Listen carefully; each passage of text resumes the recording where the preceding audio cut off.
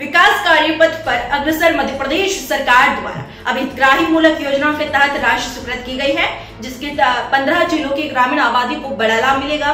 तेईस नवीन और एक पुनरीक्षित योजना को भी इसमें शामिल किया गया है। इसके लिए राज्य शासन द्वारा सत्रह हज़ार नौ सौ बहत्तर करोड़ पिचानवे लाख रुपए स्वीकृत किए गए हैं। साथ ही पुनरीक्षित योजनाओं की लागत एक करोड़ छत्तीस लाख रूपए रखी गई है।